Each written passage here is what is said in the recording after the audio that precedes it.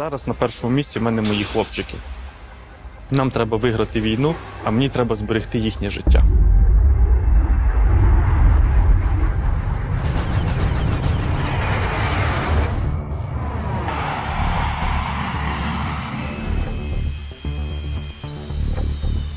Літаки злітали з аеродромів прямо під час нанесення ударів. Це було за історіями льотчиків було дуже ну, не то, що зворушливо, це приголомшливо.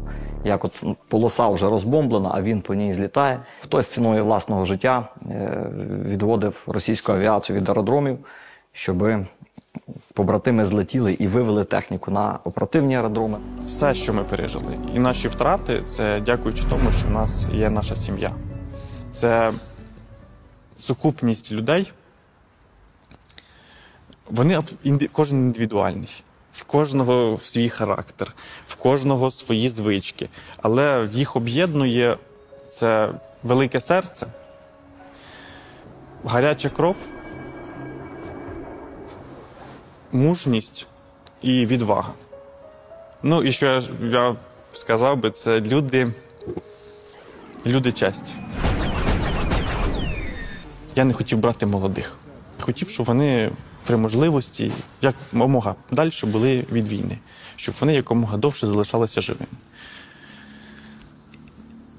Але вони самі рвуться. За нашими спинами, наші сім'ї, наші рідні, та й просто український народ. Ми не хочемо, щоб е, ця сволота просто приходила в наші землі. Я роблю, всі мої хлопчики роблять все для того, щоб виграти цю війну, щоб зупинити цю наволоч. Ну, відкрили мені таємницю наші е, автори е, цього проекту бойові родини, що проект буде продовжуватися. І це дуже добра для нас історія, тому що є вже в нас герой. Він частково став героєм е, цих бойових родин. Це згаданий вже Ростислав Лазаренко, герой України, позивний Грім.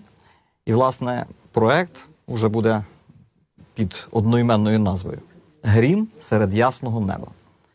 Грім і його команда. Ну, щось типу з того. І таким чином ми подивимося на звитягу, героїзм льотчиків-штурмовиків, які працюють безпосередньо на самій лінії фронту, які працюють в зоні ураження ворожої ППО, е, і які ну, дуже ризикують своїм життям для того, щоб знищити якомога більше окупантів. А понищували вони їх чимало. Це було і в перші дні війни, і це е, відбувається дотепер.